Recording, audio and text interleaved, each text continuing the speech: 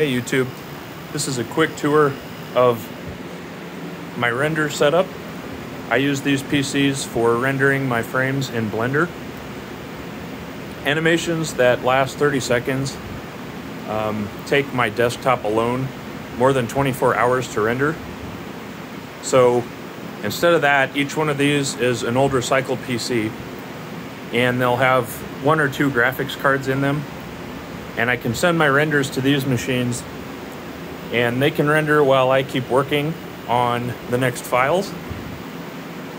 And these go at least as fast, maybe even 50% faster than my desktop does on its own. So they save a lot of time and let me keep working.